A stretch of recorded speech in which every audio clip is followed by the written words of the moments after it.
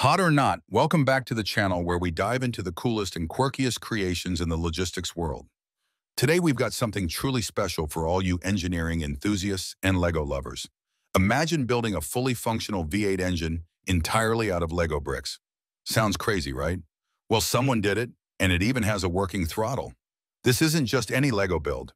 It's a meticulously crafted V8 engine that mimics the real deal in both function and design. The builder has ingeniously used LEGO pieces to create not only the aesthetic look of a V8 engine, but also its operational mechanics, including pistons moving up and down just like they would in a real engine.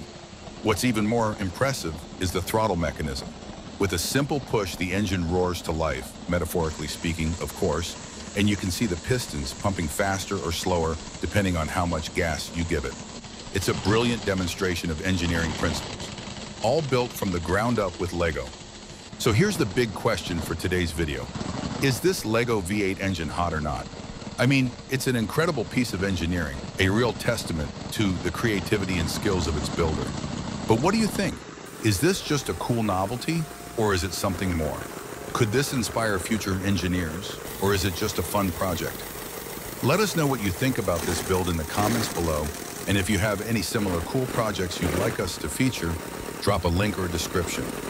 If you're a truck driver looking to join a company that knows you by name, not just a number, and was voted best to drive for 2025, check us out at christensontrans.com. Join the family at Christenson Transportation today.